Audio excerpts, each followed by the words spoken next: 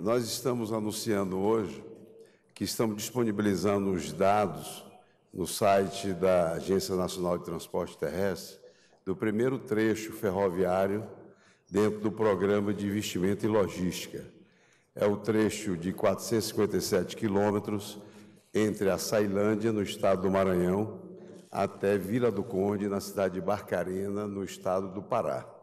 É muito importante esse trecho, não só porque é o primeiro trecho, portanto, nós estamos lançando um novo modelo ferroviário com a participação do setor privado nas inversões e na condução da construção dessa importante obra, que deverá ser realizada num prazo de quatro anos, mas estamos, acima de tudo, iniciando um novo modelo no sistema ferroviário brasileiro e num trecho muito importante que vai complementar a Norte-Sul, que através de investimentos públicos hoje já tem aproximadamente 2.200 quilômetros, 700 quilômetros aproximadamente operacionais e o restante sendo concluído até no final do ano de 2015. Uma parte será concluída em 2014 e um, até o final de 2015 todo o trecho compreendendo, de Açailândia até Estrela do Oeste e São Paulo.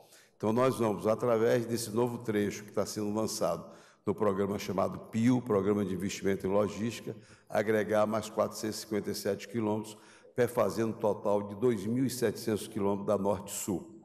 Portanto, a Norte-Sul será uma grande coluna vertebral brasileira para levar as cargas do Centro-Oeste em especial os grãos da safra de soja, para que possam ser escoadas através do porto de Vila do Conde, já próximo ao Equador, portanto, com uma vantagem competitiva muito grande para chegar aos mercados da Europa, ao mercado asiático, que estará próximo do Canal de Panamá, e também ao mercado americano. Então, o que nós estamos fazendo hoje é exatamente anunciando esses dados que irão para o Tribunal de Contas da União, para que nós tenhamos condições, após a apreciação do Tribunal de Contas da União, a fazer o lançamento do edital e, no mês de outubro, se tudo correr dentro do previsto, estaremos fazendo o leilão de 457 quilômetros, que é o primeiro trecho, mas outros virão né, do programa de investimento em logística. Tudo bem? Alguma pergunta?